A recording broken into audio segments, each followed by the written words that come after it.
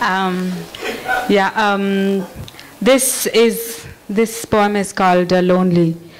Um, if you're rich, you're a catch. If I'm rich, I'm high maintenance. If you're poor, you have character. If I'm poor, I'm aspirational. If you're ugly, you're distinguished. If I'm ugly, I'm pure and lucky. If you're hot, you're attractive. If I'm hot, I'm unapproachable. If you're arrogant, you're even more attractive. If I'm arrogant, I'm a bitch. If you have a couple of friends, if you have a couple million girlfriends, you're a wonderful kisser. If I have a couple of friends, I'm a slut. If you're funny, you're popular. If I'm funny, I'm a lesbian. If you're quiet, you're mysterious. If, if I'm quiet, I'm dumb.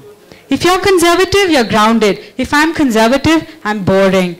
If, if you're successful, you're an even bigger catch. If I'm successful, I'm intimidating. If you're powerful, you have the license to fuck. If I'm powerful, I deserve to be single or at least I've earned, until I've earned your pity. So here's some trivia for you men. Sonia Gandhi and Ekta Kapoor may be single, but definitely smarter than all of us girls going through our relationships just faking it.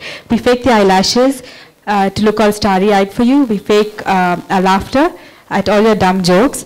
We fake the intellect to make you look like the smarter one. And most importantly, we all fake our orgasms.